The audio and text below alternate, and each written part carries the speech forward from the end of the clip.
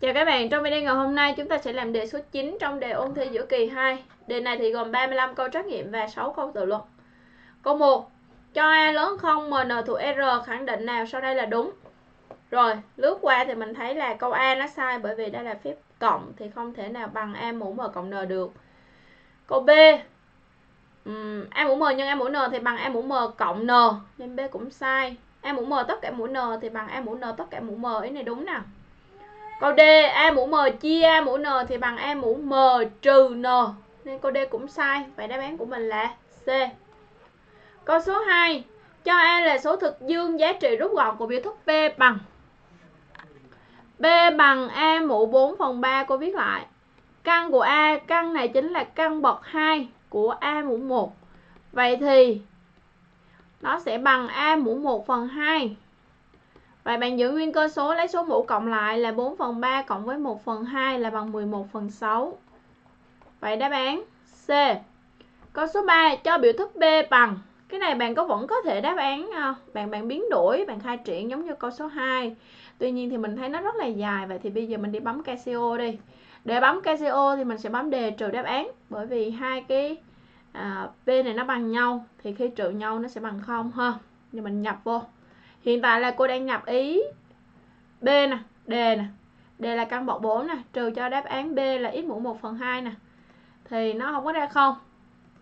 Bây giờ cô quay lại cô sửa cái câu ờ, A là mũ 13 phần 24 thì nó ra không. Vậy thì đáp án của mình là câu A. Vậy thì những cái dạng rút gọn này mình sẽ có hai cách làm.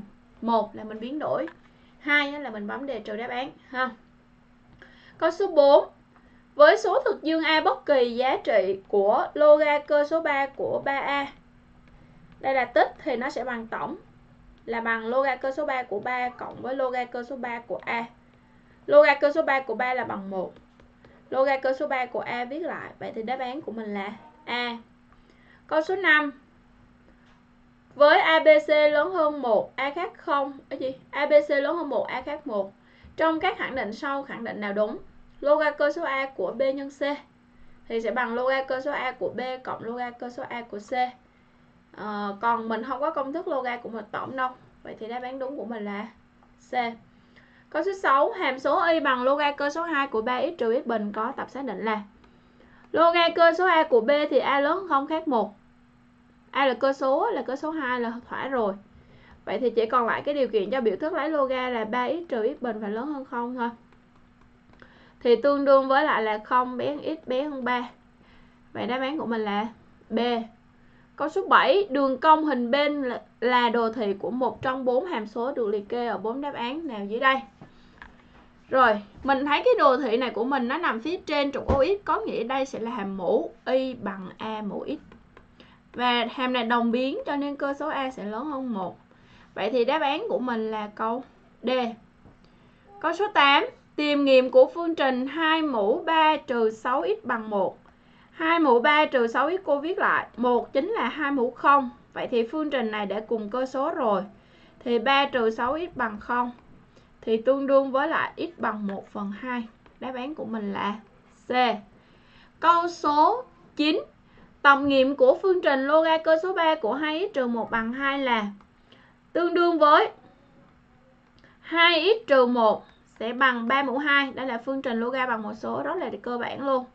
Rồi tương đương với lại là 2x bằng 10 thì x bằng 5 bài này không cần đặt điều kiện. Đáp án C. Câu số 10 câu số 10 trong các mệnh đề sau mệnh đề nào đúng? Trong không gian nếu hai đường thẳng vuông góc với nhau thì hai đường thẳng đó cắt nhau chưa chắc. Ví dụ như một đường nằm đây một đường nằm đây vẫn có thể vuông góc với nhau mà. Ha, chéo nhau cũng được mà cắt nhau cũng được à, trong không gian nếu hai đường thẳng vuông góc với nhau thì hai đường thẳng đó chéo nhau cũng chưa chắc. Thì như cô vừa nói thì nó có thể là chéo nhau hoặc cắt nhau nên đáp án của mình là câu D 10D câu số 11 cho hình hộp chữ nhật ABCD đường thẳng AB vuông góc với đường thẳng nào? Câu 12 là hình lập phương vậy thì bây giờ cô vẽ cái hình này là xài được cho cả hai câu luôn ha? Xài được cho cả hai câu luôn.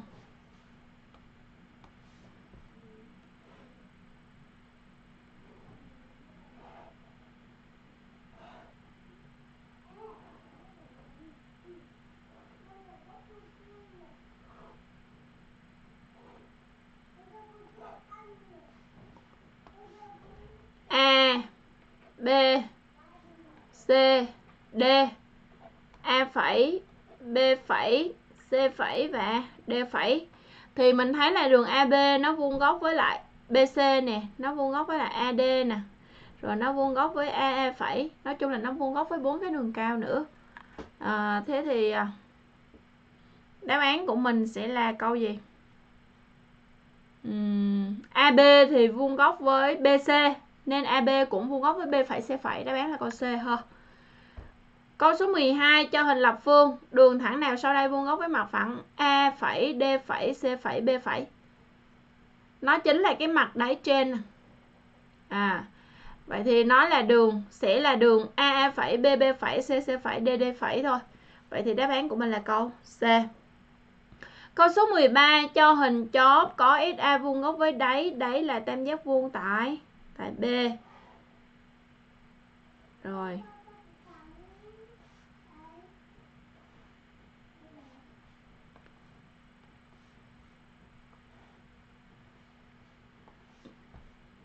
S nè, A nè, B nè, C nè. Đấy là tam giác vuông tại B nè. Vuông thôi chứ không cân, đúng không? Rồi. SA vuông góc với đáy nè. SA vuông góc với đáy nên SA về thẳng đứng nè rồi, khẳng định nào sau đây đúng. BC vuông góc với mặt gì? BC vuông góc với AB rồi BC vuông góc với SA cho nên là BC vuông góc với mặt SAB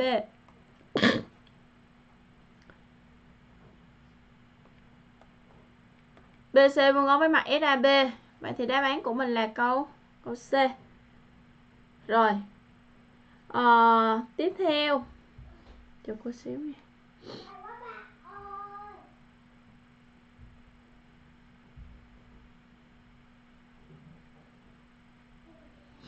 Câu số 14 trong các mệnh đề sau mệnh đề nào sau đây đúng? Hai mặt phẳng vuông góc với nhau thì mọi đường nằm trong mặt này sẽ vuông góc với mặt phẳng kia. À, ý này nó là cái định lý hiệu quả gì đó nhưng mà nó sẽ được phát biểu đầy đủ như sau. Nếu hai mặt phẳng vuông góc với nhau thì mọi đường nằm trong mặt này mà vuông góc với giao tuyến, thì nó sẽ vuông góc với mặt phẳng kia. Do đó cái ý đúng của mình sẽ là câu D. Hai mặt phẳng phân biệt cùng vuông góc với một mặt phẳng thì vuông góc với nhau hai mặt phẳng phân biệt cùng vuông góc với một mặt phẳng, ví dụ như bạn tưởng tượng là bạn bạn để cái bàn, trên cái bàn của bạn là một cái mặt phẳng cố định bây giờ bạn cho hai cái mặt phẳng là hai cái quyển vở bất kỳ vuông góc với lại mặt bàn thì hai quyển vở này có thể là vuông góc với nhau, có thể là song song với nhau, có thể là cắt nhau, đúng không cho nên là hai mặt phẳng cùng vuông góc với một mặt phẳng thứ ba thì nó có thể song song, nó có thể vuông, nó có thể cắt, tùy Vậy đáp án đúng chính xác của mình là câu D.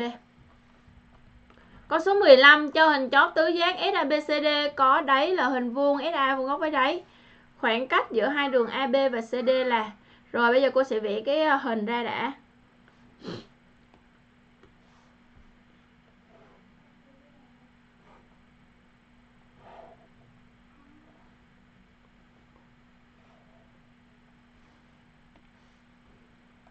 S A B C D. Đấy là hình vuông đúng không? Rồi. À, khoảng cách giữa AB và CD khoảng cách giữa AB và CD AB với CD song song với nhau và nó cùng vuông góc với là AD và BC cho nên khoảng cách của nó sẽ là AD hoặc là BC khoảng cách giữa AB với CD nó bằng AD hoặc là bằng BC và đáp án của mình là câu D. Câu số 16 biết rằng hai mũ alpha bằng 1 phần 3 giá trị của biểu thức A bằng hai mũ alpha bằng 1 phần 3 Rồi, vậy thì bây giờ chỗ này nha, Cái biểu thức A của biến đổi đã. A của mình á là bằng 1 phần 2 mũ alpha, đúng không? Thì nó sẽ bằng 2 mũ trừ alpha. Cộng với 2 mũ alpha 2 mũ trừ alpha chính là 2 mũ alpha tất cả mũ trừ 1 cộng với 2 mũ alpha 2 mũ alpha là 1 phần 3 vậy thì nó sẽ ra là 1 phần 3 mũ trừ 1 cộng với 1 phần 3 thì à, 3 cộng 1 phần 3 là 10 phần 3 đáp án của mình là câu A. 16A 17 cho log dB của 3 bằng A log dB của 4 bằng B giá trị của biểu thức P bằng.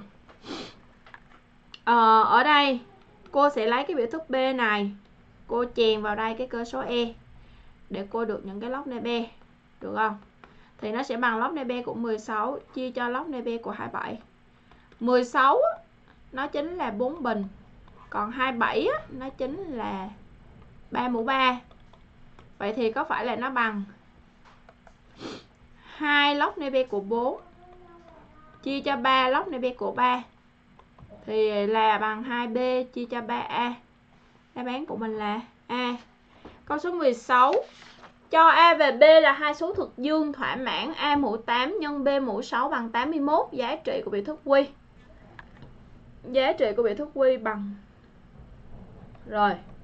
Quy cô quý viết lại nè. 4 loga cơ số 3 của A thì bây giờ nó thành là loga cơ số 3 của A mũ 4 cộng với loga cơ số 3 của B mũ 3 tổng thì đưa về thành loga của một tích là loga cơ số 3 của A14 cộng với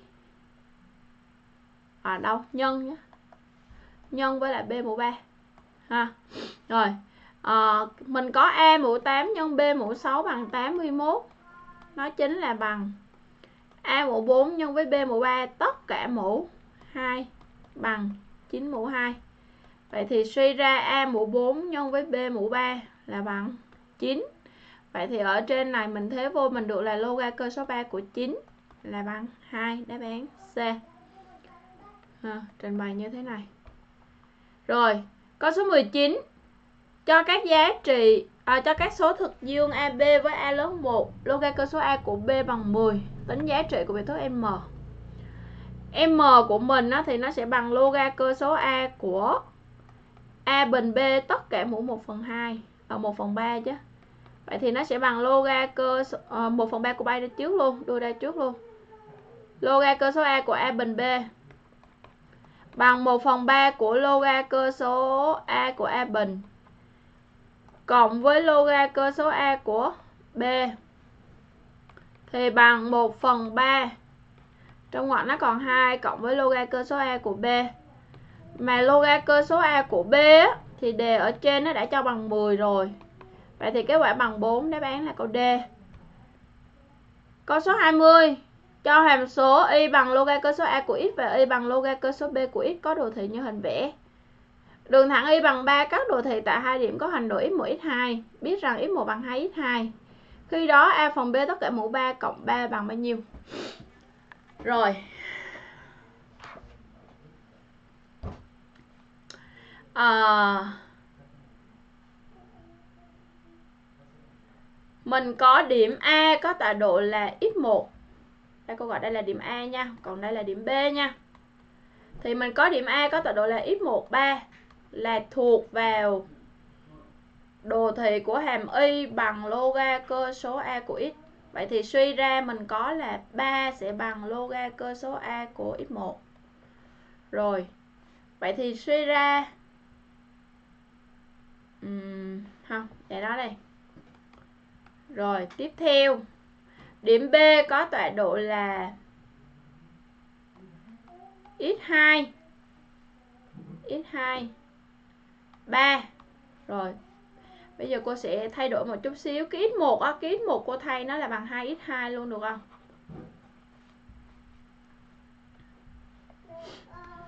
Rồi rồi. Điểm A có tọa độ là x1b thì suy ra điểm A sẽ có tọa độ là 2x2 3 vậy thì suy ra là 3 bằng loga cơ số A của 2x2 rồi thuộc vào hàm số y bằng loga cơ số B của x. Vậy thì suy ra 3 sẽ bằng loga cơ số B của x2 um, thế thì từ đây mình sẽ suy ra là loga cơ số A của 2x2 thì nó bằng loga cơ số B của x2 đúng không? Thế thì bây giờ làm sao ra đến đây rồi thì à, mình có đi à, tìm được x2 không? Hay là mình à,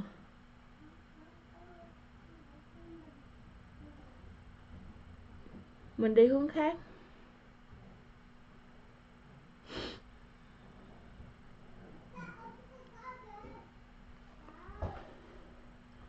Cái chỗ vị trí này là mình có là 2x2 á, thì nó sẽ bằng a mũ 3 nè. Còn ở đây là x2 là nó sẽ bằng là b mũ 3 nè. Đó. Vậy thì à, cái chỗ này mình không suy ra loga bằng loga mà mình suy ra bằng cái này.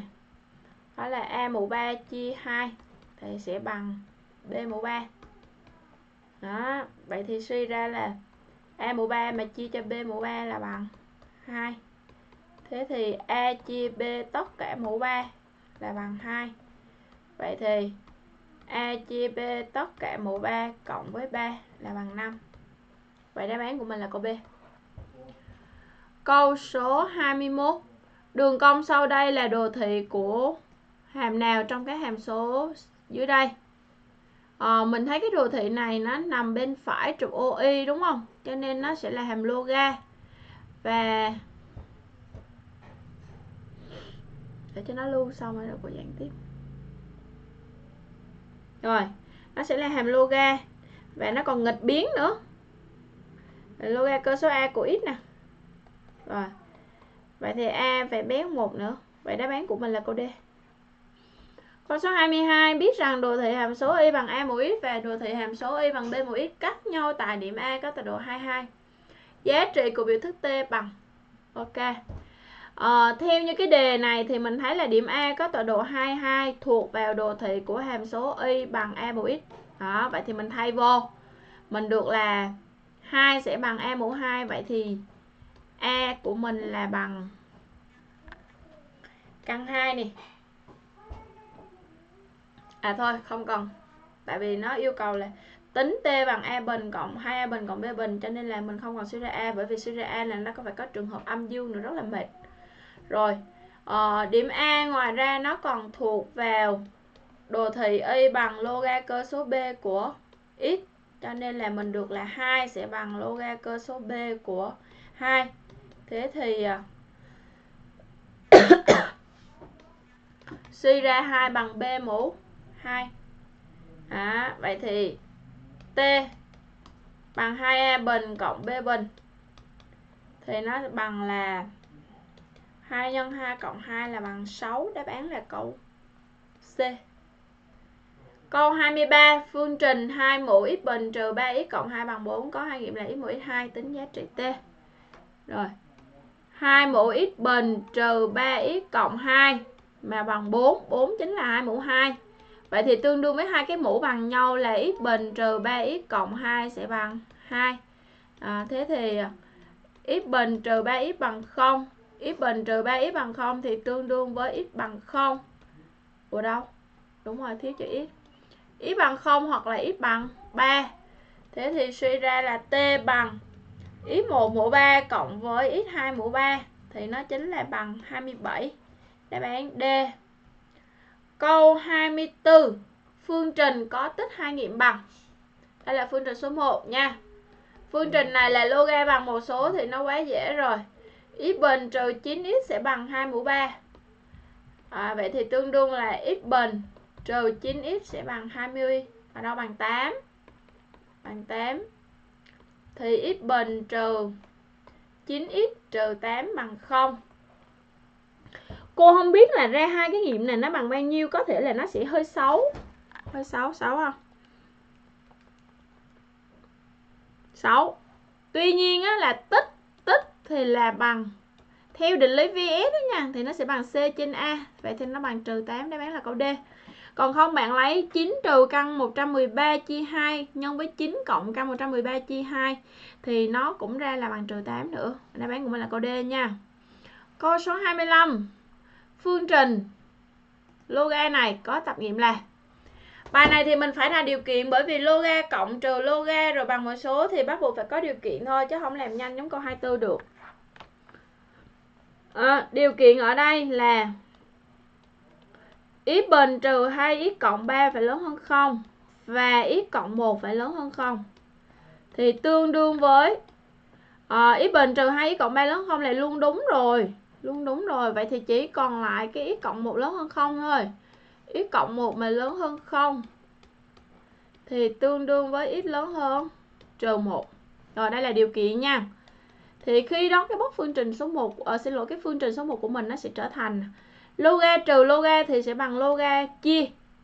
Đó, là loga của x bình trừ 2x cộng 3 chia cho x cộng 1 bằng 1 thì tương đương với x bình trừ 2x cộng 3 chia cho x cộng 1 sẽ bằng 3 Thế nhân chéo lên, bởi vì cái mẫu hồi nãy mình đã cho điều kiện lớn hơn không rồi thì chẳng sợ gì nữa. Sẽ bằng là 3x cộng 3 3x cộng 3 để cô hôm nó đi, cô ghi lọn lại. X bình trừ 2x cộng 3 sẽ bằng là 3x cộng 3 thế thì tương đương với x bình trừ 5x bằng 0 thì x bằng 0 hoặc là x bằng 5 tuy nhiên thì hai số này đều thỏa. Vậy đáp án của mình là câu A. Tại vì điều kiện ở đây là x lớn hơn trừ 1 mà. Rồi, câu số 26 cho hình chó biết ABCD có tất cả các cạnh bằng nhau. Tất cả các cạnh bằng nhau.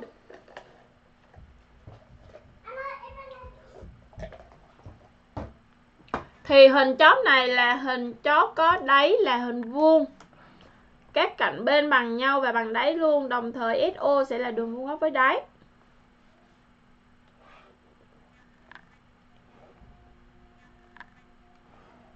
ừ.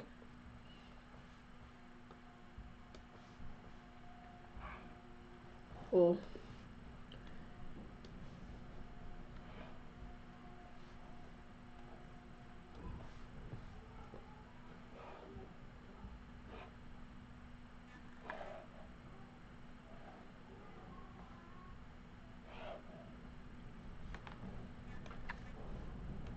S nè. A nè. B nè. C nè. D nè. A A hết nè. SO vuông góc với đáy nè. Rồi. Đấy là hình vuông. EG lần lượt là trung điểm của SC và BC đây là Y. G là trung điểm của BC đây là G số đo góc EG góc tạo bởi EG và đường thẳng CD đây. Thì EG với CD nó đâu có song song à quên, nó đâu có cắt nhau đâu, nó là hai đường chéo nhau, thì mình phải đưa về hai đường có thể cắt nhau cơ. Thì CD nó lại song song với GO CD nó lại song song với GO cho nên là góc giữa EG và CD nó chính là bằng góc giữa EG và OG hả? Rồi, mình sẽ nói như thế này. Mình có OG song song với lại CD cho nên là góc giữa EG và CD thì nó bằng là góc giữa EG và OG là nó bằng góc Y Y G O. Y G O góc này. Rồi, ok thì um,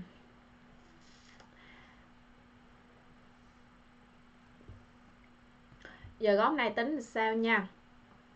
Mình có EG á, là bằng một nửa FB thì là bằng A chia 2 EG là bằng A chia 2 rồi O OG thì bằng một nửa CD cũng bằng A chia 2 vậy thì thôi ba cạnh này nó bằng nhau hết rồi. À, vậy thì suy ra góc ở trên này bằng 60 độ vì ba cạnh này bằng nhau nghĩa là tam giác IOG là tam giác. Đều. Vậy đáp án của mình là câu D. Câu số 27 cho tứ diện ABCD tứ diện này không có đường nào vuông góc với đáy hết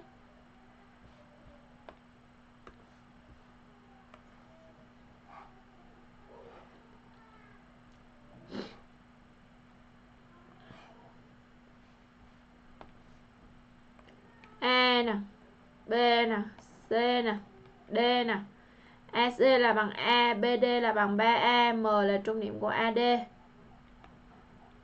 Rồi, N là trung điểm của BC.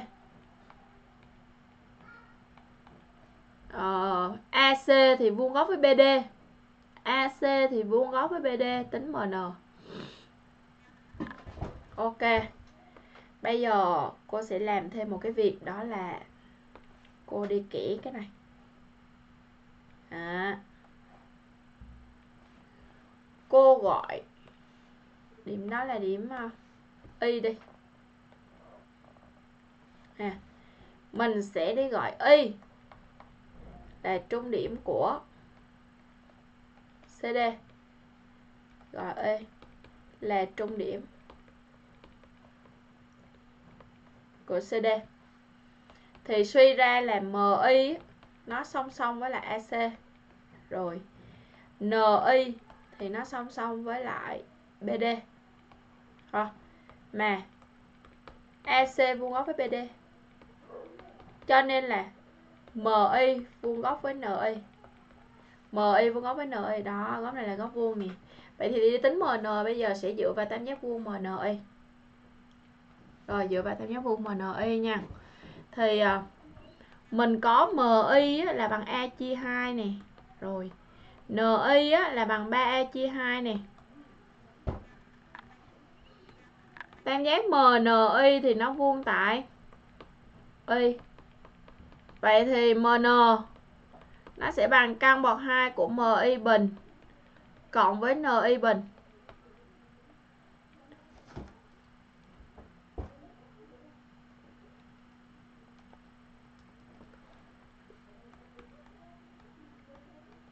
Bằng A căn 10 phần 2 đáp án của mình là câu B Câu số 28 cho hình chóp SABCD có đáy là hình thoi SA bằng SC, FB bằng SD. Đáy là hình thoi mà SA bằng SC, FB bằng SD thì chắc chắn SO sẽ là đường vuông góc với đáy nên là bạn vẽ nó thẳng đứng đi. Vậy thì à, cô nhìn vô đây là cô khoanh được đáp án luôn. Đó chính là câu C. Ờ, nhưng mà phải đi chứng minh à, cái câu này cái hình này thì các bạn gặp cũng khá là nhiều rồi đó. Vấn đề là các bạn có nhớ hay không thôi.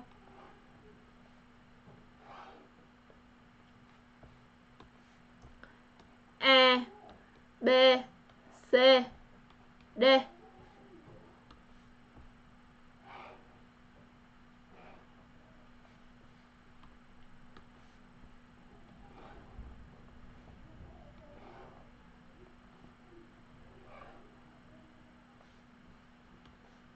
đây là S nè SA bằng SC thì à, bây giờ cô nói ký hiệu tới đâu cô nói tới đó nha. SA bằng SC thì có phải tam giác SAC cân tại S không? Cho nên SA à, SO sẽ vuông góc với AC rồi à, SB bằng SD thì tam giác FBD sẽ cân tại S cho nên SO sẽ vuông góc với BD thế thì mình đủ hai đường.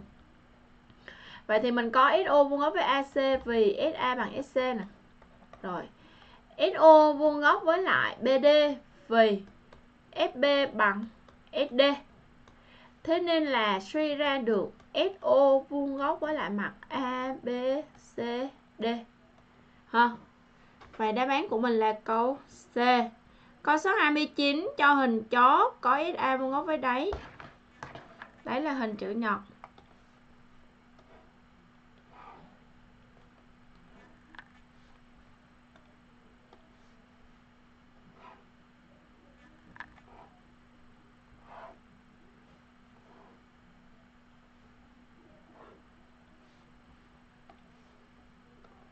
S nè A nè B nè C nè D nè. SA vuông góc với đáy nè. Rồi. À, bây giờ nó tìm hình chiếu của SC lên mặt SAB thì SC với SAB nó giao nhau tại S nên hình chiếu của S là S còn lại C thôi. Thì C gì vuông góc với mặt SAB nó sẽ là CB mình nhìn đi chứng minh nha. Thì mình có là CB vuông góc với AB CB vuông góc với SA Thế thì từ đây suy ra được là CB sẽ vuông góc với mặt SAB. Mà CB vuông góc với mặt SAB thì suy ra FB là hình chiếu của SC lên mặt AB, SAB. À, Vậy thì đáp án của mình là câu C. Câu 30. Cho hình chóp có đáy là tam giác rồi FB vuông góc với đáy nè bây giờ không phải là SA mà là FB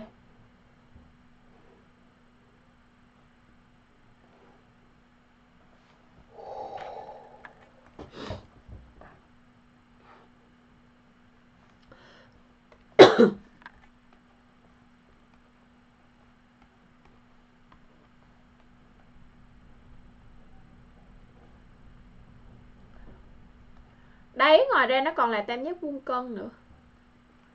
AC là bằng A căn 2 XA là bằng A căn 3 SA là bằng A căn 3 nha.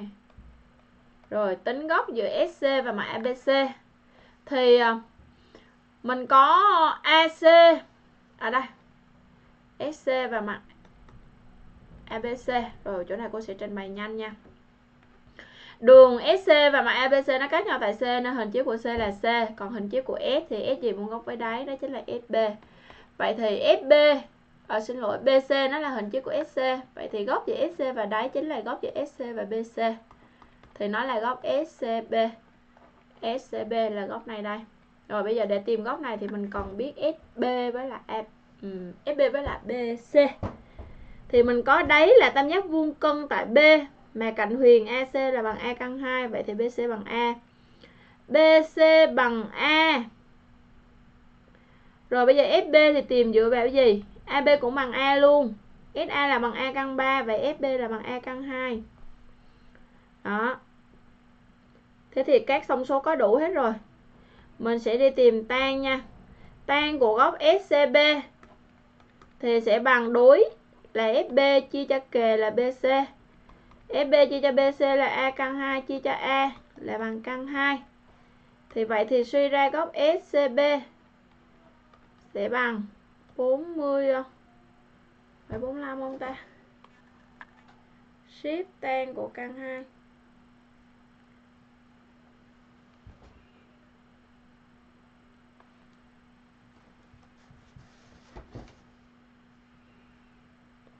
tìm tan lấy đối chia ok.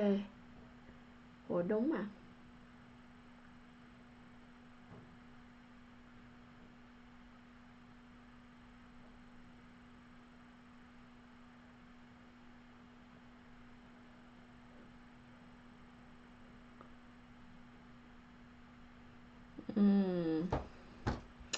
Vậy thì cái bài này nó nó không có số đúng không? Nó không có số thì cô sửa lại cho có số. Ờ, mình ra nhiêu độ? 55 độ.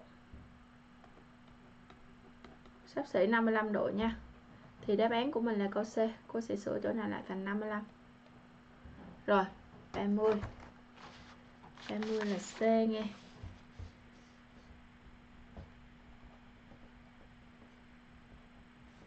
Đề mấy bạn thì nó không có sai đâu, Tại cái bảng này, cái bảng chưa sửa. Câu 31 Cho hình chốt Rồi vỉ hình đi nè. Trên này có cái hình nào không? Cóp lại để cho nó nhanh nào Có luôn á. Ở đây nè. Không vẫn cóp được.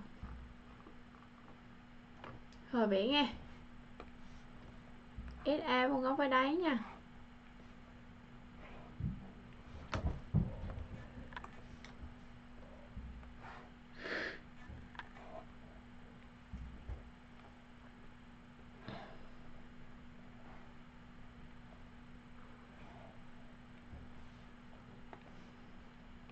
S nè A nè B nè C nè D nè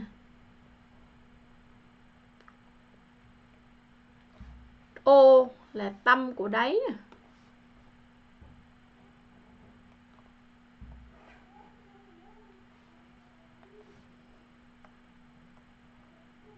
Rồi, Bây giờ tính góc giữa SO và mặt ABCD Rồi SO và mặt ABCD Thì mình đi tìm hình chiếu.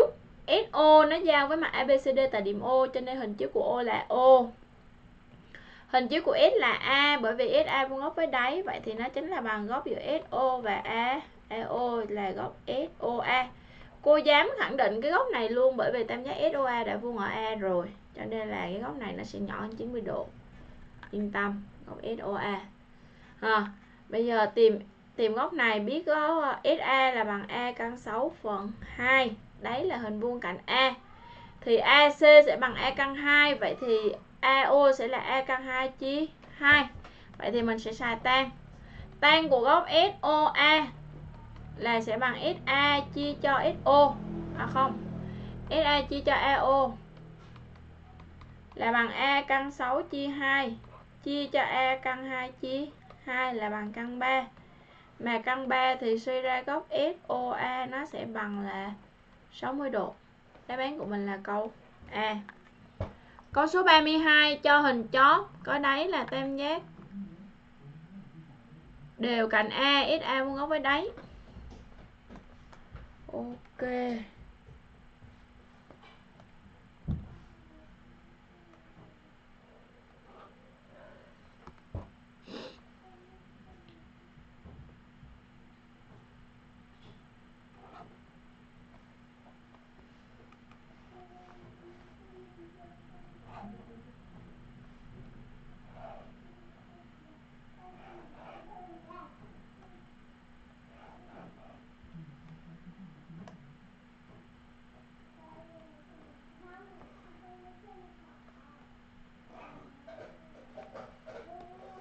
đây là S nè. A, B, C nè. SA vuông góc với đáy. Đáy là tam giác đều nha. Tam giác SAB cân. Thì các bạn là nó sẽ cân ở đâu? Nó sẽ cân ở A thôi, bởi vì nó đã vuông ở A rồi, nên nó sẽ cân như thế này. Tính khoảng cách từ A cho đến mặt phẳng SBC rồi, ok. À, khoảng cách có nghĩa là bây giờ mình sẽ đi tìm a gì đó vuông góc với mặt FBC thì ờ, cái a gì đó được vẽ như sau.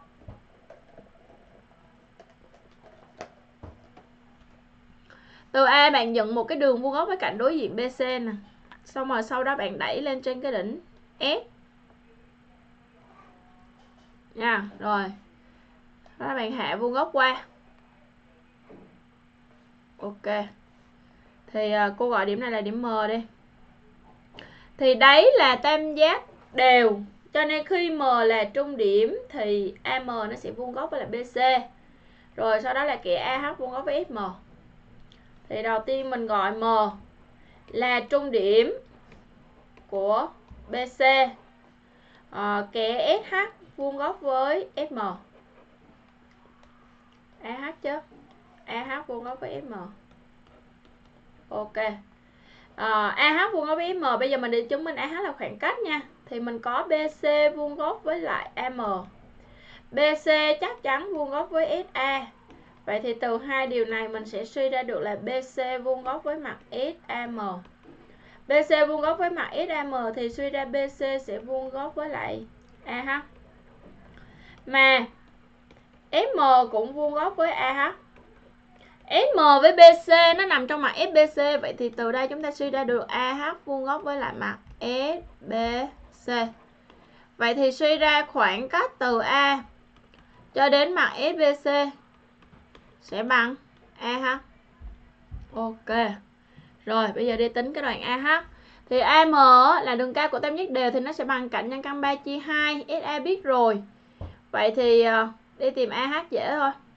Tam giác SAM vuông tại A, nên suy ra 1 phần AH bình sẽ bằng 1 phần AX bình cộng 1 phần AM bình. Vậy thì suy ra AH nó sẽ bằng căn bậc 2 của, căn bậc 2 của AX bình nhân với AM bình chia cho AX bình cộng AM bình là bằng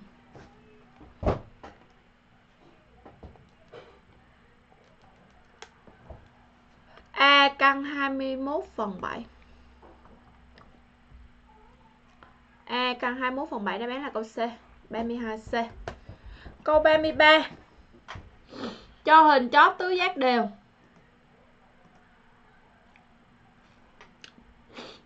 Nó lưu cái đấy nha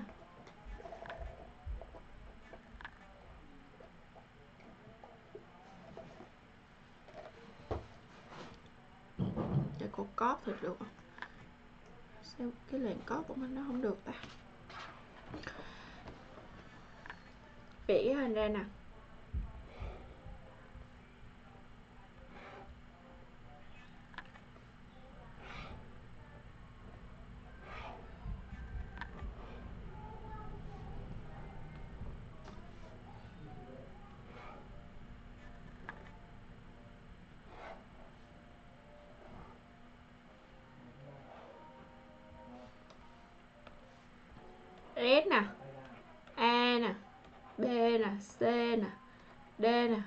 Giao điểm của hai đường chéo nè.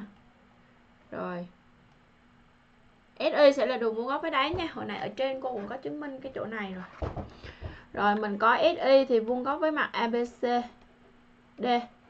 Bây giờ tính khoảng cách từ Y đến mặt ABC à, ờ, cô sẽ tráo cái đỉnh lại một chút. Cô để A nằm ngoài đây. A B C D. Rồi ok khoảng cách từ Y thì ờ, mình cũng sẽ đi vẽ ba nét. Y nó là chân đường vuông góc thì từ cái chân đường vuông góc của hình chúng ta sẽ đi vẽ nét đầu tiên là vuông góc với cạnh đối diện AB sau đó đẩy lên đỉnh S là nét thứ hai. Nó giống như bài trên cùng vẽ ba nét vậy đó. Rồi và kẻ đường thứ ba vuông góc với cái đường vừa vẽ ha. Thì cô gọi đây là M nghe. M. Đây là H.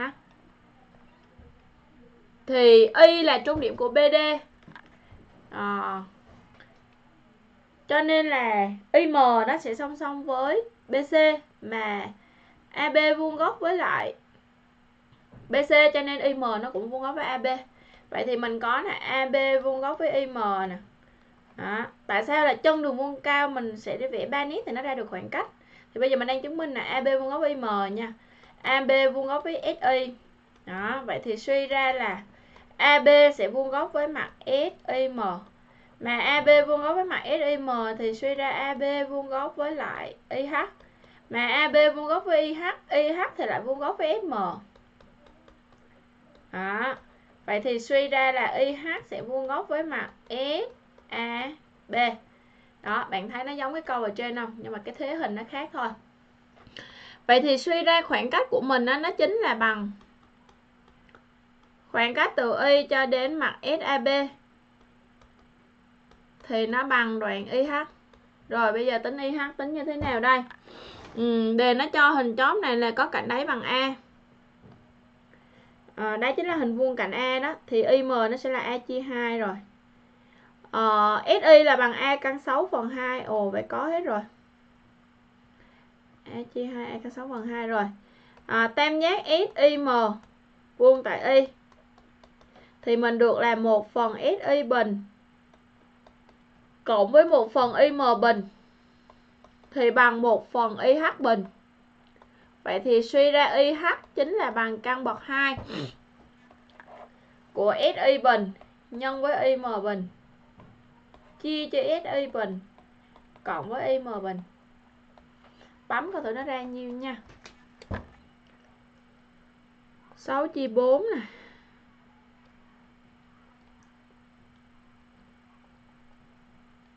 Nhân với 1 chia 4 nè.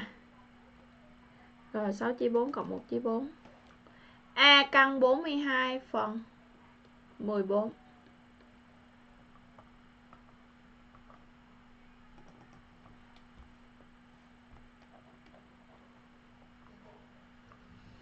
Đáp án của mình là câu A. Câu 34 cho tứ diện ABCD có AB bằng CD bằng A, EG bằng A căn 3 phần 2.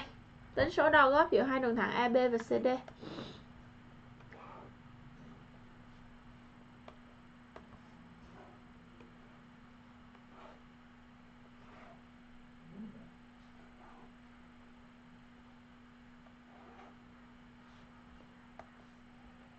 A B C D Y là trung điểm của BC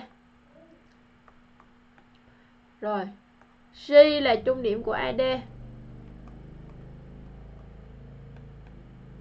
à hai này bằng nhau luôn. Nên ký hiệu giống nhau được. Rồi số đo góc giữa AB và CD rồi mình sẽ dựng hình như thế này nha. Giờ cô nối EG lại nè. AB với CD là hai đường thẳng đang chéo nhau. Thế thì à, bây giờ từ y mình kẻ một cái đường song song với cd thì nó sẽ là trung điểm của cd nè.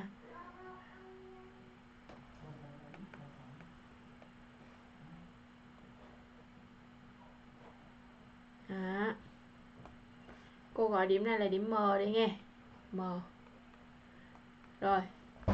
Thì mình có là AC á, thì nó song song với lại ở đâu? AB AB thì nó song song với im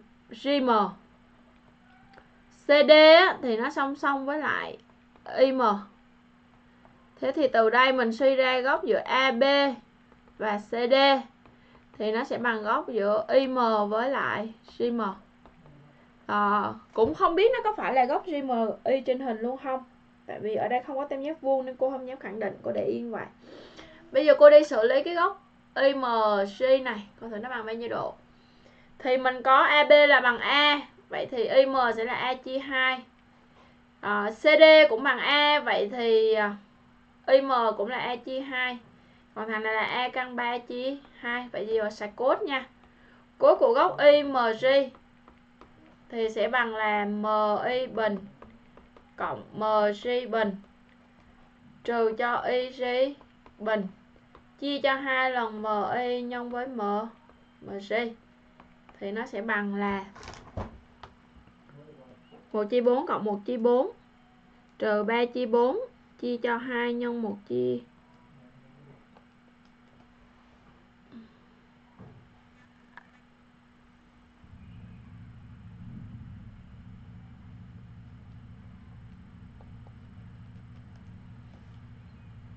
Ừ, nó đây là trừ 1 phần 2 Vậy thì suy ra góc GMI này á Nó tới là bằng 120 độ. À, vậy hồi nãy ở trên mình không kết luận là chuẩn luôn. Vậy thì góc giữa AB và CD á, Mình lấy phần bù lại là chỉ có 60 độ thôi. Đáp án của mình là câu B. Ha. Ờ, à, Góc giữa hai đường, hai mặt Đường và mặt thì đều là những cái góc nhỏ hơn 90 độ. Vậy 34 đáp án là câu B. Câu 35, câu trắc nghiệm cuối cùng. À, cho hình chấm SABCD có đáy là hình vuông, Tâm O hai mặt SAC và FBD cùng vuông góc với đáy. SAC và FBD nó cắt nhau tại SO đúng không? Vậy thì SO sẽ là đường vuông góc với đáy. Rồi, được rồi, cô vẽ cái hình như thế này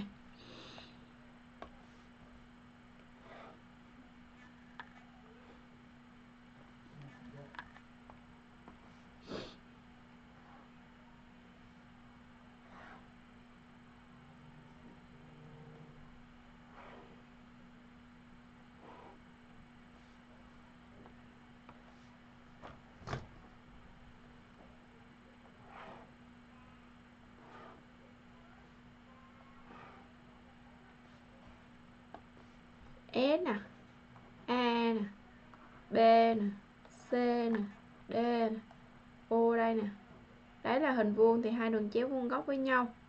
Rồi à, cô sẽ ký hiệu SO vuông góc và cô để chứng minh. Thì mình có mặt SAC giao với lại mặt FBD theo giao tuyến là SO rồi SAC thì lại à, vuông góc với mặt ABCD rồi FBD cũng vậy. FBD cũng vuông góc với mặt ABCD thế thì à, từ đây chúng ta suy ra được là SO chính là đường vuông góc với mặt ABCD rồi. Hình vuông đấy là A căn 3 SO là 3A phần 2 Vậy số đo góc giữa hai mặt SCD và mặt ABCD bằng à, Góc giữa hai mặt là góc giữa hai đường cùng vuông góc với giao tuyến. Thì trong đấy chúng ta sẽ vẽ xuất phát từ chân đường vuông góc là từ O thì mình phải kẻ thêm một cái đường nào đó chứ ờ, hiện tại nó có BC với AD cùng vuông góc với lại giao tuyến CD tuy nhiên là nó không có đi qua chân đường cao nên không làm được đâu. Rồi, bây giờ mình gọi M đi nghe. Gọi M là trung điểm của CD đó. Vậy thì suy ra OM vuông góc với CD. OM thì nó là đường chứa trong mặt ABCD. Rồi.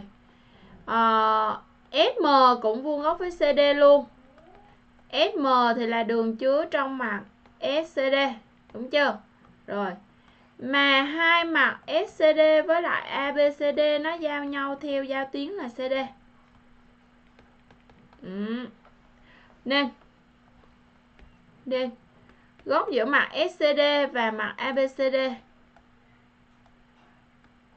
nó bằng góc giữa OM và FM thì nó chính là góc FMO góc FMO là cái góc này nè. Rồi, ok. Bây giờ làm sao để tìm góc này? Thì đáy của mình là hình vuông nên là CD sẽ bằng BC bằng bằng, nói chung là tất cả các những cạnh đáy là bằng nhau và bằng A căn 3 thế thì OM nó sẽ là A căn 3 chia chia 2 ha. Bây giờ mình sẽ xét tam giác FOM vuông tại O thì mình có tan của góc S e, MO à, bạn thấy ở đây cô dám khẳng định nó là góc SMO e, bởi vì tam giác e, SMO đã vuông tại O rồi cho nên là góc này sẽ là góc nhọn ha.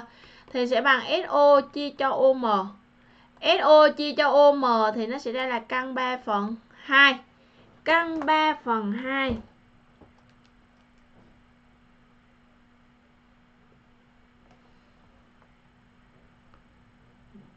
đáy là hình vuông.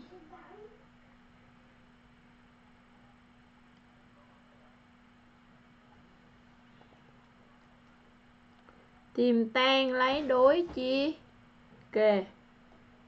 3 phần 2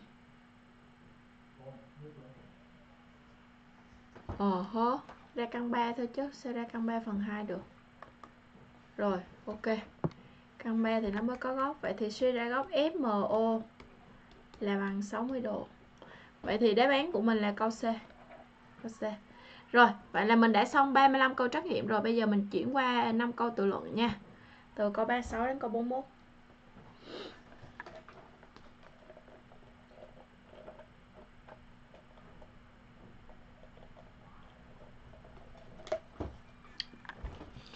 Một khu rừng có trữ lượng gỗ là V0 mét khối, biết tốc độ sinh trưởng của các cây ở khu rừng đó là y phần trăm trên một năm.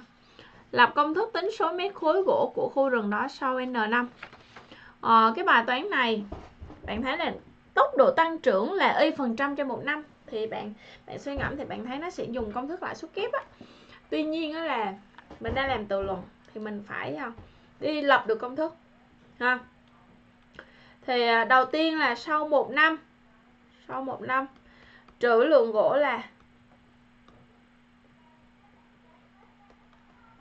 trữ lượng gỗ là V1 à, sau một năm tốc độ sinh trưởng của khu rừng là y phần trăm có nghĩa là à, nó gồm có v0 cộng cho v0 v0 là cái phần ban đầu cộng cái phần sinh trưởng thêm chính là v0 nhân với y phần trăm thì nó sẽ bằng v0 nhân với 1 cộng y phần phần trăm. Rồi à, sau 2 năm sau 2 năm trữ lượng gỗ là trữ lượng gỗ là V2 V2 thì bằng cái trữ lượng ban đầu là V1 cộng cho V1 nhân với Y. V1 nhân với Y phần trăm. Thì sẽ bằng V1 nhân với 1 cộng Y phần trăm thì nó chính là bằng V0 nhân với 1 cộng Y phần trăm mũ 2 à, Vậy thì cho đến năm thứ N là sau N5 sau N5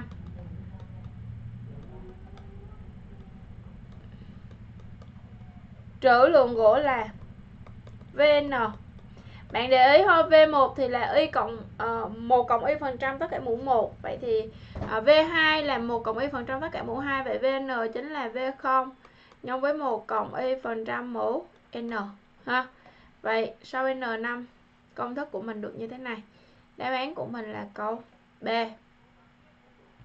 Câu số 36B câu 37 theo trang dân số ORG, dân số Việt Nam năm 2020 là 97 triệu 338.579 người. Tỷ lệ tăng dân số hàng năm là 0,91%. Giả sử mức tăng dân số này không thay đổi thì đến năm bao nhiêu? Dân số nước ta là 125 triệu người. Thì uh, Ờ, ở trên á cái bài toán này nó giống ở trên tuy nhiên ở trên người ta đã ký hiệu sẵn cho mình V0 Y và N rồi. Còn bây giờ thì chưa ha. Thế thì mình à, sẽ gọi ha gọi. Gọi. Dân số Việt Nam năm 2020 là à, dân số cô gọi nó là D0 đi ha. D0 sẽ bằng 97 triệu 338.579 người. Rồi. À, tỷ lệ tăng dân số là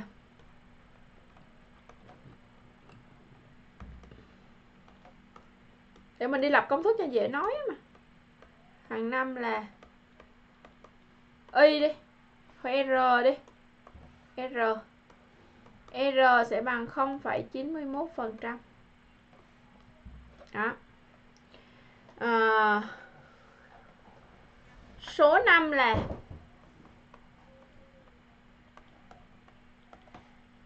n ha. Thì à, ta có ta có sau một năm sau một năm dân số Việt Nam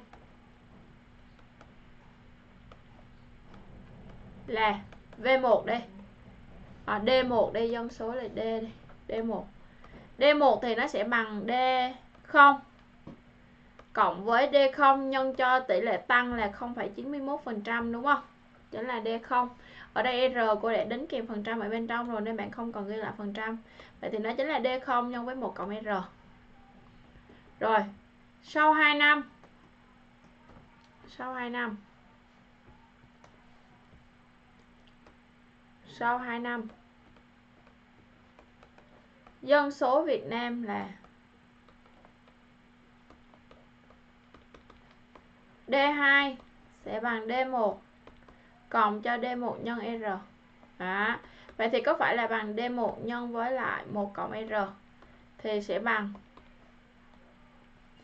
D0 nhân với 1 cộng R tất cả mũ 2 không? Rồi. Ok. Vậy thì cho đến năm thứ N là sau N5 nha. Sau N5.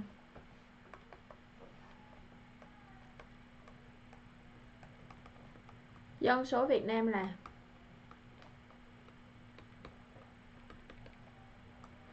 DN sẽ bằng D0 nhân với 1 cộng R tất cả mẫu N. Rồi theo đề.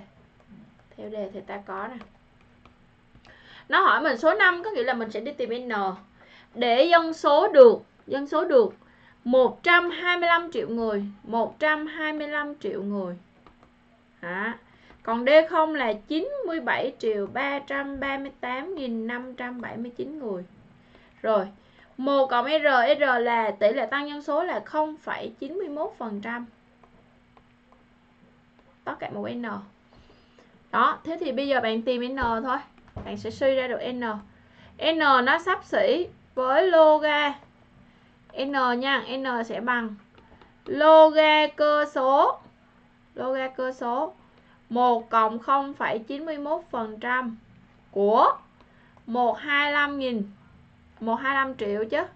Chia cho 97 triệu 338 nghìn 576 79 người. Rồi vậy thì kết quả nó ra là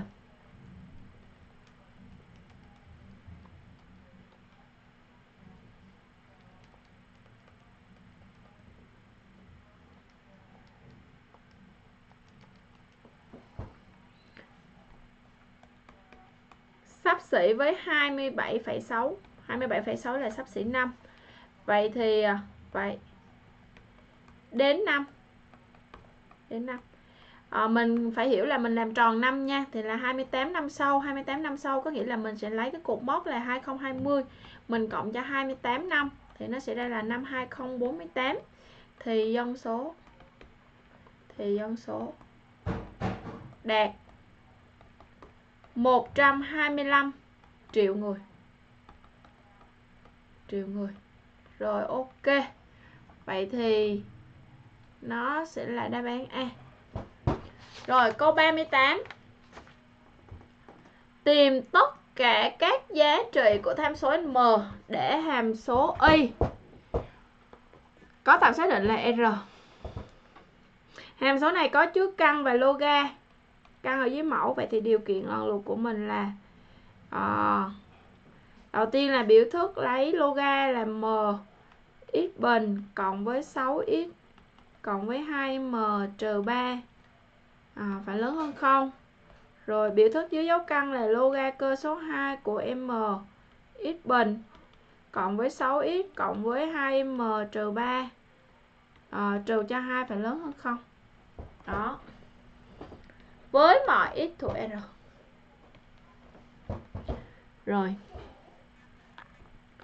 Tương đương với mx bình cộng 6x cộng 2m trừ 3 lớn hơn 0 còn ở dưới này là mx bình cộng 6x cộng 2m trừ 3 à, ờ, loga lớn hơn 2 thì biểu thức này nó sẽ lớn hơn 2 mũ 2 lớn hơn 2 mũ 2 thì nó lớn hơn 0 rồi à, vậy thì suy ra là m bình cộng đâu m.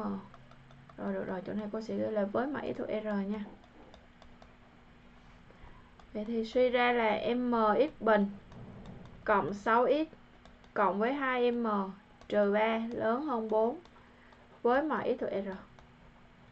Vậy thì tương đương với mx bình cộng 6x cộng 2m trừ 7 lớn hơn 0 với mọi x thuộc r. Ờ, đây là một tam thức bậc 2 lớn hơn với mọi x thuộc r. Cuối cùng mình cũng đưa được nó về đến đây rồi. Thì mình sẽ xét hai trường hợp. Trường hợp 1 á, là hệ số a của mình bằng 0 bởi vì à, cái tam thức nó cho kiểu này có nghĩa là chưa chắc uh, cái bốc phương trình này đã là bốc phương trình bậc 2 đâu. Bạn hiểu được không? Cho nên mình phải xét hệ số a bằng 0 và a khác 0 thì khi m bằng 0 mình thay vào bốc phương trình 1 bốc phương trình 1 thì ta có được. Ta được. 0 0 rồi đúng không? Thì là 6x trừ 7 lớn hơn 0 thì tương đương với lại x lớn hơn 7 phần 6 thì đây là mâu thuẫn với đề rồi. Không thỏa đề. Không thỏa cái ý là với mọi ý thuộc r. Cho nên là công m bằng 0 này mình. Loại. Rồi. À, trường hợp số 2 trường hợp số 2 là m bằng m khác không chứ thì lúc này bất phương trình 1 bất phương trình 1 đúng với mọi ý thuộc r. Nó sẽ tương đương với tương đương với à, a a lớn hơn không nè và delta phẩy phải bé hơn không. Thế thì tương đương với m lớn hơn không cô viết lại delta phẩy là bằng b phẩy bình là 9 nè. Trừ ac là trừ 2m cộng 7 sẽ bé hơn không.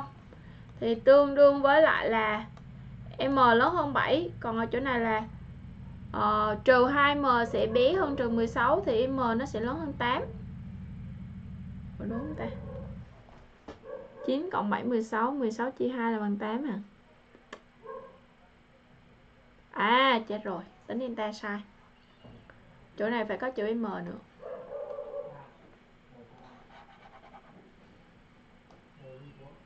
chín trừ m nhân với 2m trừ 7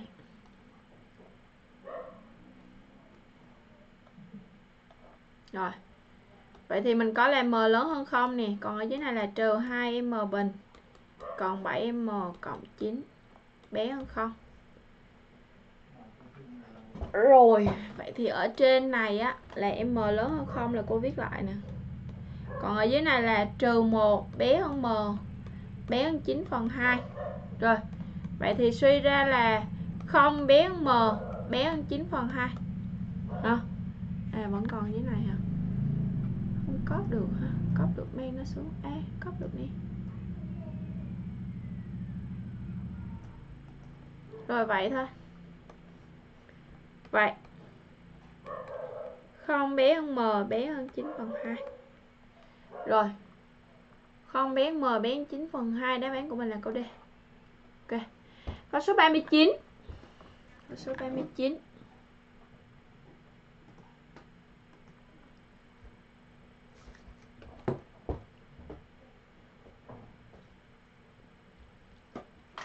cho hình chó bé ra BC có đáy là tam giác đều. SA bằng SB bằng SC M là mặt phẳng đi qua A. Và B là mặt phẳng đi qua A chứ và vuông góc với đường thẳng SC tìm hệ thức liên hệ giữa rồi à, nói chung á, là một cái bài toán á, liên quan đến hình không gian trong cái phần này nghe. Thì à, bạn phải cố gắng xác định được đâu là đường vuông góc với đáy ha. Giống như là vẽ đáy xong là vẽ tới đường cao rồi à, mới đi nối các cái cạnh bên. Thì à, mình thấy trong cái bài này nó để cho đáy là tam giác đều xong rồi các cạnh bên nó còn bằng nhau nữa. Vậy thì SO với O là tâm của đáy sẽ là đường vuông góc với vậy đáy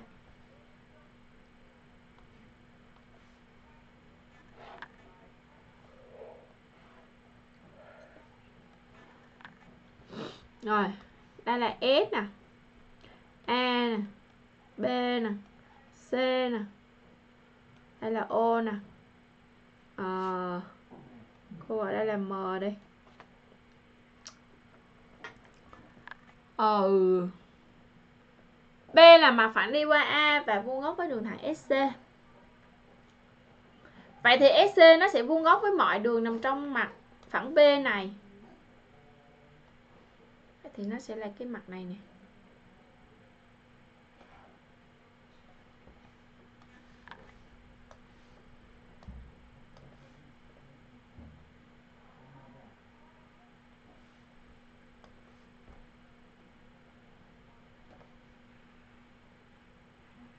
Cái C tại H nha. Rồi. Tính diện tích tam giác ABH và theo cái đề này thì mình sẽ có là SC vuông góc với AH SC vuông góc với BH đúng chưa? Rồi. À, ta có SC vuông góc với mặt phẳng P. Vậy thì suy ra SC sẽ vuông góc với AH và SC sẽ vuông góc với lại B BH rồi à, ngoài ra ta có ta có à, tam giác ABC đều. Mình sẽ nói về tính chất hình luôn. Rồi SA bằng SB bằng SC cho nên là suy ra SO sẽ là vuông góc với mặt ABC ha. ở trên này mình gọi O là tâm của tam giác ABC đi rồi à, vậy thì mình đã chú thích được hai cái vị trí này rồi có cái điểm M cô không biết nó có xài hay không thôi chưa có đụng tới. Bây giờ tam giác ABH để tính được diện tích tam giác ABH thì à,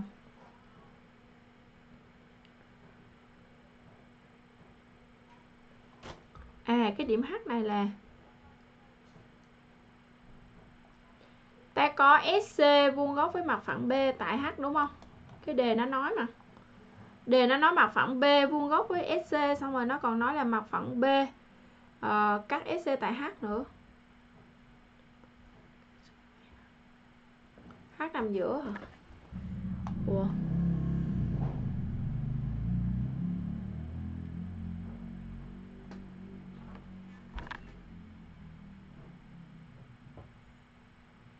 Cũng cũng chưa chắc cái ý này ha. Rồi được rồi vậy thì để cô xóa cái ý này trước nè.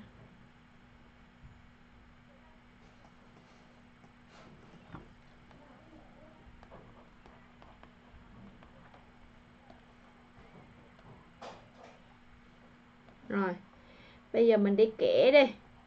Kẻ AH vuông góc với lại SC đúng chưa? AH vuông góc với SC ờ... bây giờ làm sao để chứng minh được SC vuông góc với mặt ABH đây? SC vuông góc với AH do mình kể. giờ mà có SC vuông góc với AB nữa thì ngon. Rồi à, chứng minh được.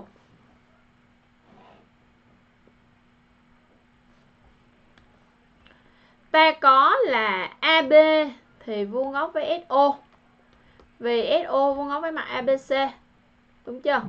Rồi ta có AB thì vuông góc với CO bởi vì tam giác ABC cân tại ở đâu, không phải cân mà là đều. Đều. Rồi. Vậy thì từ đây mình suy ra được là AB vuông góc với mặt SCO AB vuông góc với mặt SCO thì suy ra AB vuông góc với lại SC. Rồi. Thì đây là một ý nè, đây là hai ý nè. Thì từ 1 và 2, từ 2 và 1 cũng được. Thì mình sẽ suy ra là SC vuông góc với là mặt A, B, H. Hả? Vậy thì suy ra mặt phẳng P nó chính là mặt phẳng A, B, H. Rồi bây giờ mình mới mới mới nói được cái ý này chứ không hồi nãy mình là xác định luôn đó chính là mặt ABH thì nó hơi hơi uh, không logic ha tam giác ABH nó sẽ là tam giác cân tại H bởi vì hai tam giác SAB và à, xin lỗi SAC và tam giác SBC bằng nhau nên là tam giác này sẽ cân tại H. Bây giờ để làm sao để đi ờ, người ta nói gì? Khi đó hãy tính diện tích tam giác ABH hả? Thì ờ, đến đây là mình đã chứng minh được là rồi thì bây giờ cô vì thêm một ý nữa nha. Vì tam giác SAC cân tại S. Nó bảo là tìm AB để tam để H. À, nằm giữa F và C này. tam giác ABC cân tại S.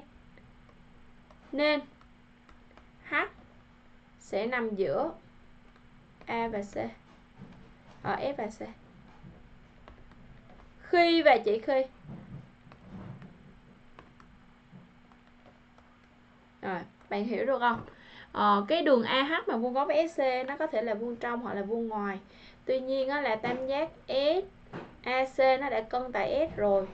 Thì ờ, cái điểm H nó sẽ nằm giữa khi cái góc ASC nhỏ hơn 90 độ. Chứ còn nếu như nó chính lớn hơn 90 độ thì cái AH nó buộc phải vuông ở phía ngoài đây nè. Hiểu được không?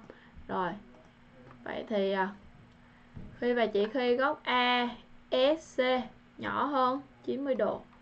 Vậy thì suy ra à, nếu như mà nó bằng 90 độ thì SA bình cộng SC bình sẽ bằng AC bình. Mà bây giờ nó nhỏ hơn 90 độ thì SA bình cộng SC bình phải lớn hơn AC bình. SA bình cộng SC bình phải lớn hơn AC bình. Vậy thì suy ra là SA bình cộng FC bình là B bình cộng với B bình lớn hơn A bình. Để suy ra là 2B bình lớn hơn. A bình. Ok. Rồi được một ý nha. Khi đó hãy đi tính diện tích tam giác ABH theo A và B. Ok. Tính tam giác diện tích tam giác ABH thì diện tích tam giác ABH theo A và B thì mình có uh, thể đi tính như sau. Uhm. cái điểm M lúc đầu cô gọi ở đây nó bên biệt thường ha. Bây giờ cô sẽ ờ, không gọi M đó nữa mà cô gọi M ở đây bởi vì có xài mình có xài tới. Rồi, mình gọi M là trung điểm của AB thì HM nó sẽ vuông góc với lại AB tại M. Gọi M là trung điểm của AB thì suy ra FM sẽ vuông góc với, không phải là FM mà là HM sẽ vuông góc với AB HM sẽ vuông góc với AB các bạn biết tại sao vuông không? Bởi vì ờ, uh, HA bằng HB rồi thì tam giác F à, xin lỗi tam giác HAB cân tại H cho nên là HM sẽ vuông góc với AB HM vuông góc với AB thì suy ra diện tích của tam giác ABC nó sẽ bằng 1 phần 2 lần AB nhân với HM diện tích của tam giác HAB bằng 1 phần 2 lần HM nhân với AB rồi bây giờ AB thì có rồi HM thì chưa. HM thì chưa, đúng không? Nhưng mà HB có tìm được không ta? HB có tìm được không?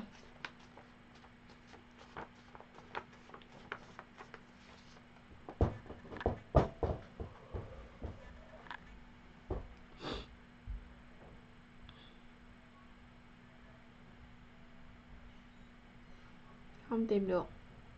Bây giờ đi tìm SO trước đi ồ hết chỗ hả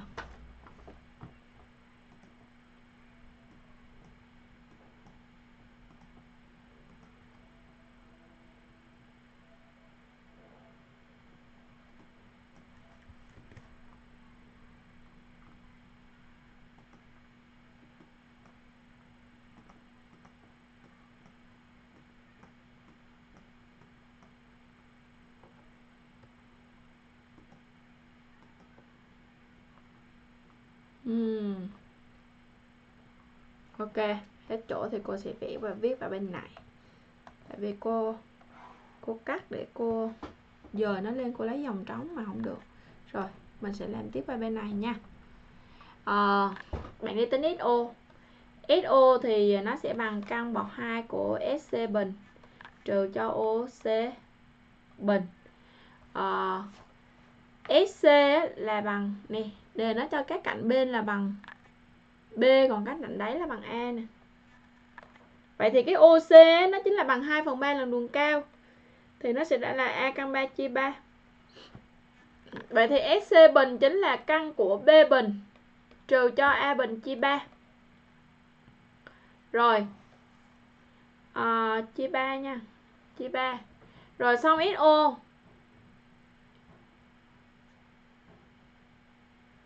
tiếp theo là mình sẽ à, sử dụng cái gì để đi tìm được MH đây? Rồi, ta có tam giác SOC tam giác SOC thì à, bằng không? Tam giác SOC với lại tam giác MHC thì nó có à, góc C chung nè. Góc C chung. Rồi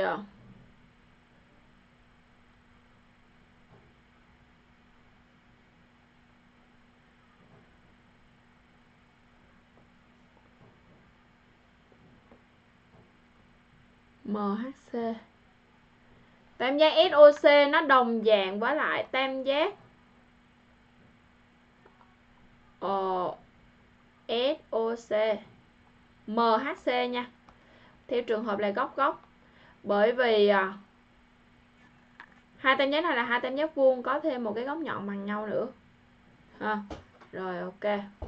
Vậy thì suy ra là SO trên cho MH thì nó sẽ bằng là SC chia cho M MC thế thì suy ra SO nhân với MC thôi SO bằng đi.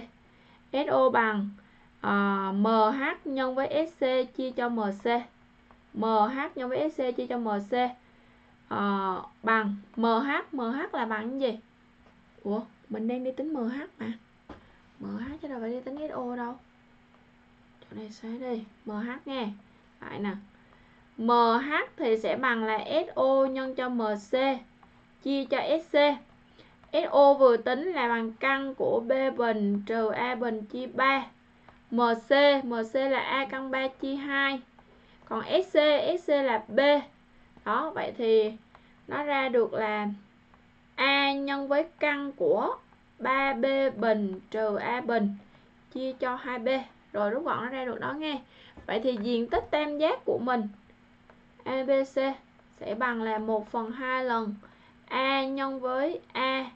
Căn này 3B bình trừ A bình, chia cho 2B thì có phải là bằng, chốt lại là bằng cái gì đây? Bằng à thì cô xóa cái đường này đi tí nữa cô vẽ lại nha. Đi cho nó đủ. Rồi. Bằng A mũ 2 nhân căn của 3B bình trừ A bình. Chia cho 4B rồi. Kỹ nó lên. Ok. Rồi mình sẽ chú thích là hết chỗ nên qua bên này làm tiếp. A mũ 2 nhân căn bậc 2 của 3B bình trừ A bình chia cho 4B Vậy đáp án của mình là câu A. Câu A đúng không? 39A Rồi câu 40 Câu 40 Cho phương trình, tổng tất cả các nghiệm của phương trình đã cho là Phương trình này có chứa loga thì đầu tiên cô sẽ đi đặt điều kiện trước cái đặt Điều kiện. Điều kiện là x mũ 3 cộng 1 lớn hơn 0 nè. 2x trừ 1 tất cả bình lớn hơn 0 nè. Và x cộng 1 lớn hơn 0 nè rồi. Thì tương đương với, tương đương với x mũ 3 lớn hơn trừ 1 thì x nó phải lớn hơn trừ 1 rồi 2x bình trừ 1 2x trừ 1 tất cả bình khác lớn hơn 0 thì x nó sẽ khác 1 phần 2 thôi. Còn như này là x lớn hơn trừ 1 ok, vậy thì chốt lại là chỉ có hai điều kiện x lớn hơn trừ 1 và x khác 1 phần 2 rồi, cô đặt đây là phương trình 1 ha. Thì khi đó phương trình 1 của mình sẽ tương đương với tương đương với. À, bây giờ mình sẽ đưa về loga cùng cơ số nha. Loga cùng cơ số. Thì là hai loga cơ số 3 của x mũ 3 cộng 1 sẽ bằng. Bây giờ cô mang cái mũ xuống nhưng mà cô mang cái mũ xuống thì cô sợ cái thằng 2x trừ 1 này nó sẽ xảy ra hai trường hợp là âm hoặc dương. Thế thì chả dám mang nó xuống đâu. À, mang nó xuống cũng được nhưng mà thế thì mang luôn mang luôn nhưng mà để là dấu trị nha. 2 loga cơ số 3 của trị 2x trừ 1 trị 2x trừ 1 cộng cho loga cơ số 3 mũ 1 phần 2 3 mũ 1 phần 2 mang ra trước là 2 luôn. 2 loga cơ số 3 của x cộng 1 rồi. Vậy thì 2 với 2 bỏ hết rồi thì còn lại là loga cơ số 3 của x mũ 3 cộng 1 sẽ bằng loga cơ số 3 của trì 2x trừ 1 cộng loga cơ số 3 của x cộng 1 rồi bây giờ mình sẽ phá trị bằng cách mình xét hai trường hợp. Trường hợp 1 á, là 2x trừ 1 lớn hơn 0 thì tương đương với lại là x lớn hơn 1 phần 2 x lớn hơn 1 phần 2 thì cô đặt đây là à, phương trình số 2 nha. Cô đặt đây là phương trình số 2 thì à, phương trình 2 tương đương. Loga cơ số 3 của x mũ 3 cộng 1 sẽ bằng loga cơ số 3 của 2x trừ 1 cộng loga cơ số 3 của x cộng 1 ok. Cộng thì thành nhân, thế thì tương đương với x mũ 3 cộng 1 sẽ bằng 2x trừ 1 nhân với lại x cộng 1 đó. Thế thì giải đi. Mình ra được là x mũ 3 nè. Trừ 2x bình nè. Bên này là 2x trừ x là x chuyển qua là trừ x nè. Trừ 1 chuyển qua là cộng 2 hết nè. Rồi, thì à, bấm phương trình bậc 3 nha.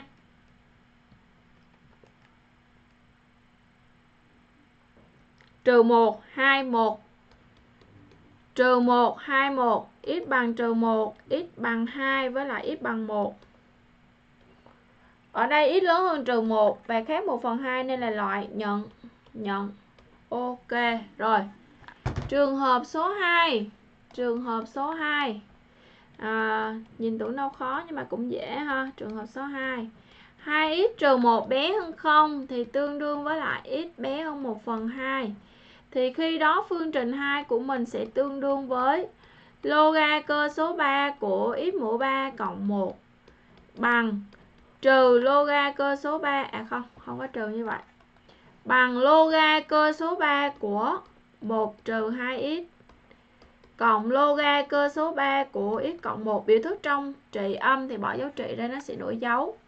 Thế thì tương đương với lại là x mũ 3 cộng 1 sẽ bằng 1 trừ 2x nhân với x cộng 1 rồi, tương đương với x mũ 3 cộng 2x bình trừ 2x cộng 1 là trừ x chuyển qua là cộng x bằng 0 thì tương đương với mấy nghiệm ờ, à, 1 bằng 2 bằng 1 bằng 0 bằng.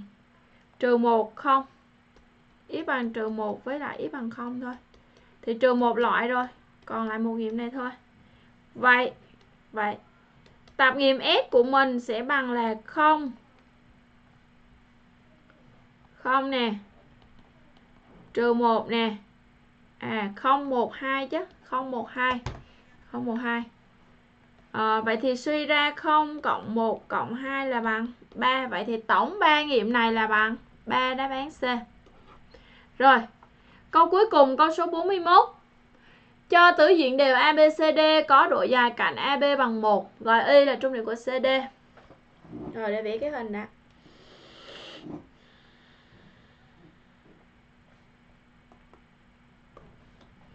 tứ diện này là tứ diện bất kỳ rồi.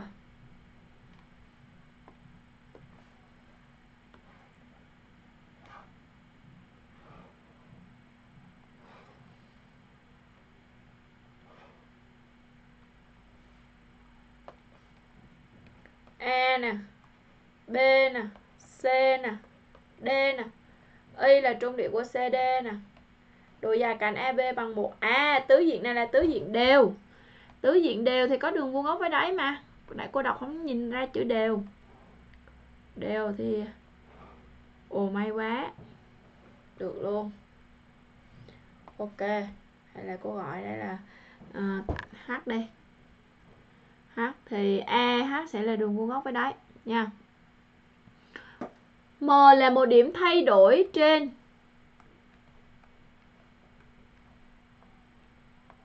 Đường thẳng AD M nằm đâu đâu biết. Vẽ đại đây đây, M đây đây. tính diện tích nhỏ nhất của tam giác MBI diện tích nhỏ nhất của tam giác MBI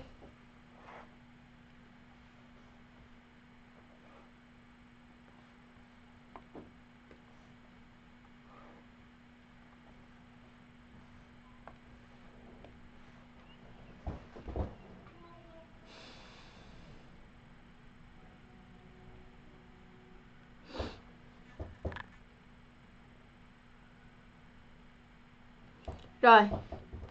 À, có cái điểm nào mà cô có tự gọi thêm không? Cô gọi h là trọng tâm. Không biết có xài không? Cứ cứ gọi đi ha. Trọng tâm của tam giác b c d. Vậy thì uh, suy ra sh vuông góc với mặt abc không mặt bcd bcd nha. Rồi. À, ta có diện tích của tam giác MBI á, thì nó sẽ bằng là 1 phần 2 lần BI nhân với khoảng cách từ M cho đến BI BI thì cố định rồi còn M thì di động. Ừ. nên suy ra là diện tích của tam giác MBI á, MBI nó nhỏ nhất. Nó nhỏ nhất. Khi khoảng cách từ M đến BI nhỏ nhất mà khoảng cách từ M đến BI nhỏ nhất nó chính là khoảng cách khoảng cách gì? Khoảng cách giữa à, vậy thì à, khi đó khi đó. Khoảng cách từ M đến BI nó chính là bằng khoảng cách giữa hai đường chéo nhau, M thuộc đường AD đúng không? AD đến BC bởi vì khoảng cách giữa hai đường chéo nhau chính là khoảng cách của đường vuông góc chung. Mà cái đoạn vuông góc chung chính là cái đoạn nhỏ nhất khi mà mình ờ, mình mình ờ, kể từ một cái điểm bất kỳ thuộc đường này đến cái đường kia rồi, giữa hai đường chéo nhau á. Thì cái đoạn vuông góc chung là cái đoạn nhỏ nhất khi nối từ một điểm bất kỳ thuộc đường này đến một điểm bất kỳ thuộc đường kia, bạn hiểu được không?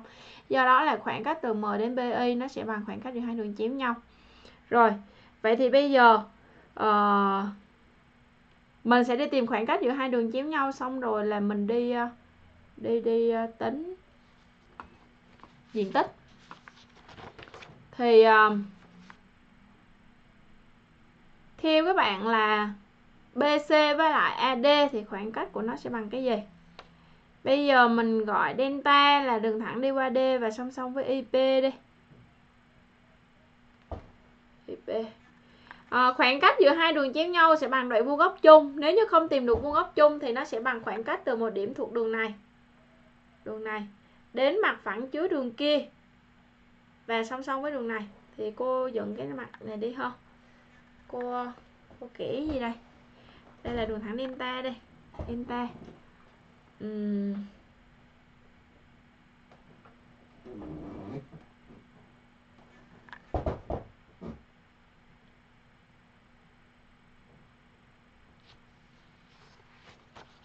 Ôi chết cha. Chỗ này phải là IB mới đúng à. nè IB chứ không phải BC Đang nói về đường IB mà. IB Rồi Thì khoảng cách giữa hai đường này sẽ bằng khoảng cách từ IB đến cái đường uh, Cái mặt phẳng uh, P này đây.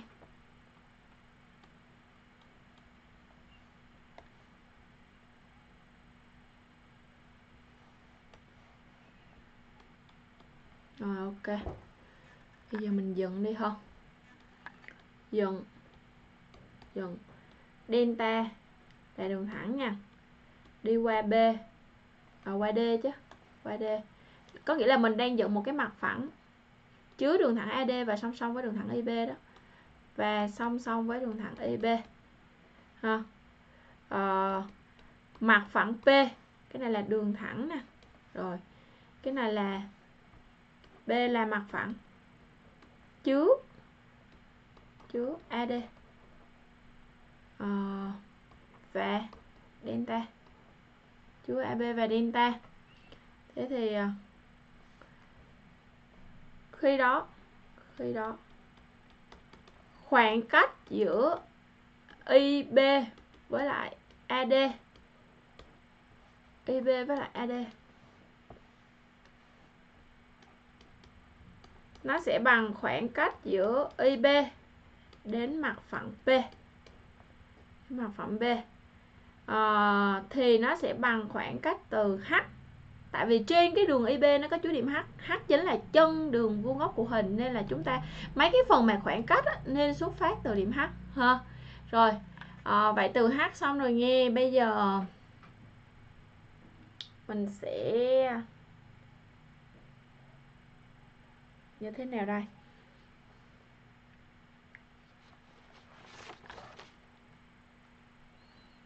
Cái đường thẳng delta này của mình nó mình kéo dài nó qua bên này nữa đi. Đó. tại vì bạn à, như nãy giờ mình làm cái đề này thì mình thấy là để vẽ khoảng cách thì chúng ta cần vẽ ba nét. Thì nét đầu tiên là từ H mình sẽ kẻ vuông góc với đường thẳng delta. Sau đó mình đẩy lên đỉnh A và mình kẻ vuông góc qua đó thì cô sẽ gọi đây là điểm à? điểm K nghe. Rồi còn đây là điểm E. E E. E rồi ok. Kể. Ờ, uh, HK vuông góc với đường thẳng delta. Rồi HE vuông góc với đường thẳng AK AK Ok Vậy như vậy. Thì bây giờ mình đi chứng minh đi ha. Mình có là uh, Delta. Delta là đường thẳng nha Thì nó vuông góc với HK là mình vừa vẽ nè. Rồi delta thì nó cũng vuông góc với SH Bởi vì SH vuông góc với đáy. Bởi vì SH vuông góc với mặt ABCD à, ờ, mặt BCD không phải là SH mà là AH cứ nhầm với hình chóp S thôi. Rồi. Vậy thì từ đây chúng ta suy ra được là delta vuông góc với mặt A K H. Delta vuông góc với mặt AKH thì delta nó sẽ vuông góc vào lại cái đường HE à, ờ, AKH nè. Lúc lên cho bạn nhìn nha. AKH chứa đường HE thấy không? Rồi. Nó vuông góc với HE vậy thì mà mà AK cũng vuông góc với HE luôn. Cho nên suy ra HE sẽ vuông góc với mặt phẳng B. Vậy thì khoảng cách giữa từ điểm H đến mặt phẳng B nó chính là bằng đoạn HE. Được chưa? Rồi bây giờ đi tìm HE thôi. Thì um, HE tìm như thế nào đây mình có là HK sao nhỉ hồi nãy mình kể cái thằng này song song đúng không? Thì hai góc. Hai góc này bạn. Thằng này vuông góc này vuông thì góc này cũng phải vuông vậy thì HKDI nó trở thành cái hình chữ nhật rồi. Vậy thì HK là bằng ID HK là bằng ID ta có HK là bằng ID rồi. Là bằng A chia 2 đúng không? ID là bằng A chia 2 rồi HK có rồi. SH tìm được không? SH chính là đường à, xin lỗi AH chứ. AH là đường cao của tứ diện đều AH AH thì nó sẽ bằng căn bậc 2 của AB bình trừ BH bình đi.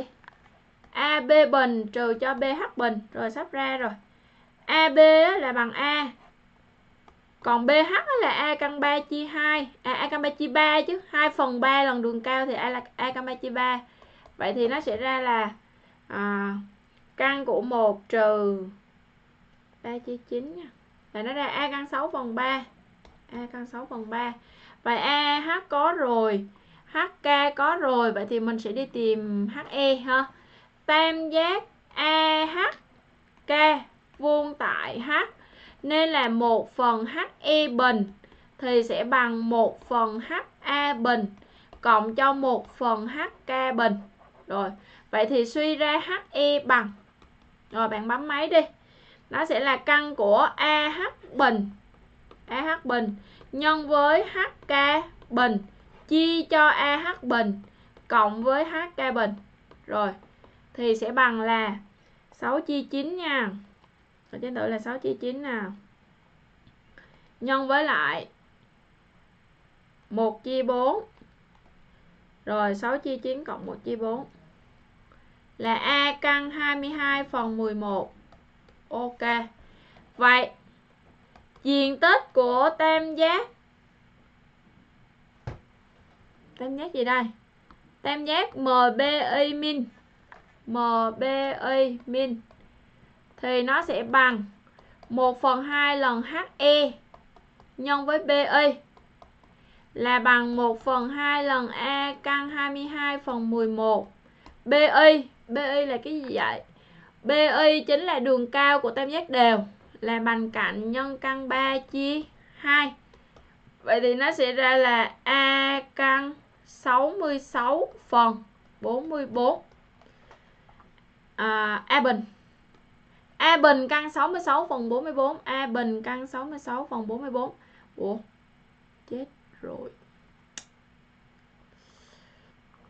Nãy giờ mình đang uh, mình đang không có sử dụng một mà mình sử dụng A mấy bạn. Rồi, được rồi. Thì à, cô sẽ đi xóa cái chữ A này, cô thay thành số 1 nha. Tại vì quen quen cái miệng không sao.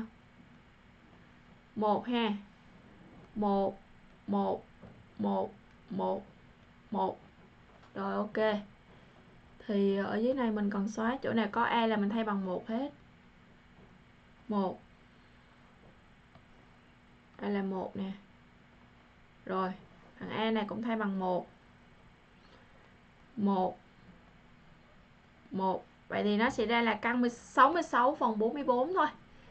Căn 66 phần 44 vậy thì đáp án của mình chính là câu câu B.